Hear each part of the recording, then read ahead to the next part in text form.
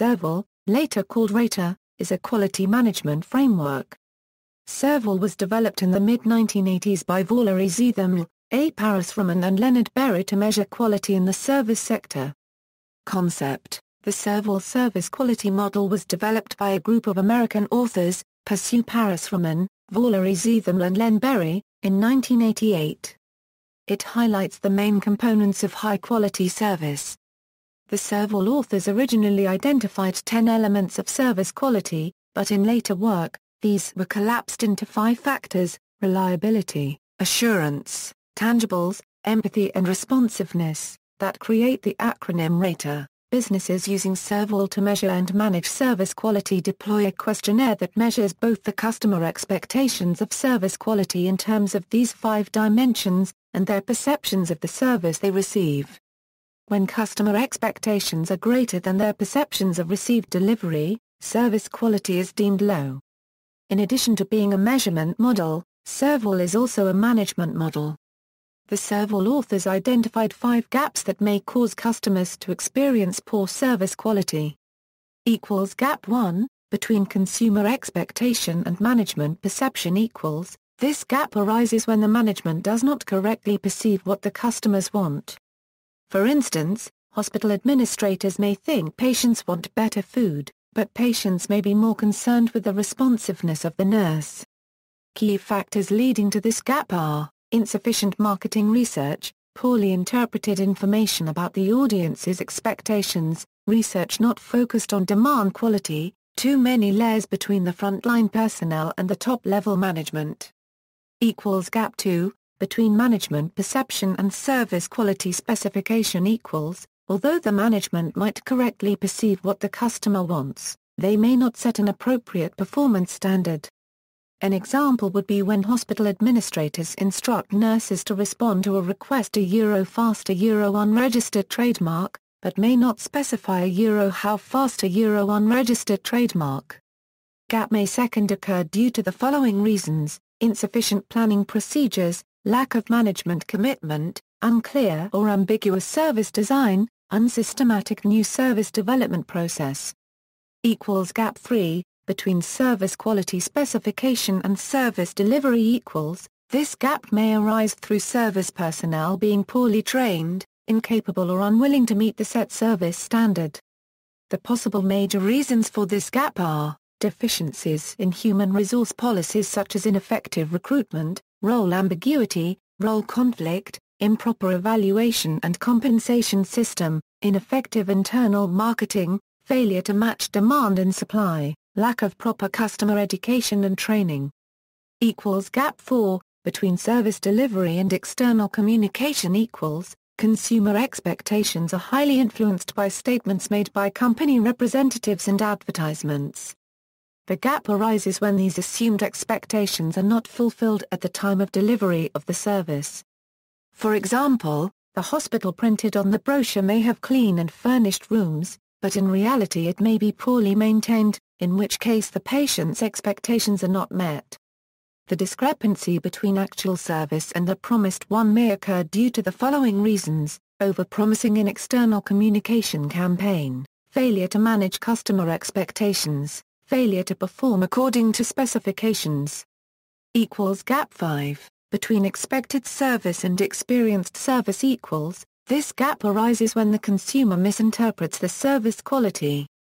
For example, a physician may keep visiting the patient to show and ensure care, but the patient may interpret this as an indication that something is really wrong. Determinants The 10 determinants that may influence the appearance of a gap are, competence is the possession of the required skills and knowledge to perform the service. For example, there may be competence in the knowledge and skill of contact personnel, knowledge and skill of operational support personnel and research capabilities of the organization. Courtesy is the consideration for the customer's property and a clean and neat appearance of contact personnel, manifesting as politeness, respect, and friendliness. Credibility includes factors such as trustworthiness, belief and honesty. It involves having the customer's best interests at prime position. It may be influenced by company name, company reputation and the personal characteristics of the contact personnel. security enables the customer to feel free from danger, risk or doubt including physical safety, financial security and confidentiality. Access is approachability and ease of contact. For example, convenient office operation hours and locations. Communication means both informing customers in a language they are able to understand and also listening to customers. A company may need to adjust its language for the varying needs of its customers. Information might include for example, explanation of the service and its cost, the relationship between services and costs and assurances as to the way any problems are effectively managed. Knowing the customer means making an effort to understand the customer's individual needs, providing individualized attention, recognizing the customer when they arrive and so on. This in turn helps to delight the customers by rising above their expectations. Tangibles are the physical evidence of the service, for instance, the appearance of the physical facilities, tools and equipment used to provide the service. The appearance of personnel and communication materials and the presence of other customers in the service facility. Reliability is the ability to perform the promised service in a dependable and accurate manner. The service is performed correctly on the first occasion, the accounting is correct, records are up to date and schedules are kept. Responsiveness is the readiness and willingness of employees to help customers by providing prompt timely services, for example, mailing a transaction slip immediately or setting up appointments quickly. By the early 1990s, the authors had refined the model to five factors that enable the acronym RATER reliability the ability to perform the promised service dependably and accurately, assurance, the knowledge and courtesy of employees and their ability to convey trust and confidence, tangibles, the appearance of physical facilities, equipment, personnel and communication materials, empathy, the provision of caring, individualized attention to customers, responsiveness, the willingness to help customers and to provide prompt service, the simplified RATER model allows customer service experiences to be explored and assessed quantitatively and has been used widely by service delivery organizations. Nyeck, Morales, Ladhari, and Pons stated the SERVQUAL measuring tool a Euro appears to remain the most complete attempt to conceptualize and measure service quality Euro. The SERVQUAL measuring tool has been used by several researchers to examine numerous service industries such as healthcare, banking, financial services, and education. Criticisms Francis Buttle critiques SERVQUAL in the article A Euro OE SERVQUAL. Review, critique, research agenda, and comes up with two clusters of criticisms based on theoretical and operational criteria. Nyeck, Morales, Ladhari, and Pons reviewed 40 articles that made use of SERVQUAL and discovered a Euro OE thought few researchers concern themselves with the validation of the measuring tool Euro. References, Zeithaml, Parasuraman and Berry, Delivering Quality Service. Balancing Customer Perceptions and Expectations, Free Press, 1990.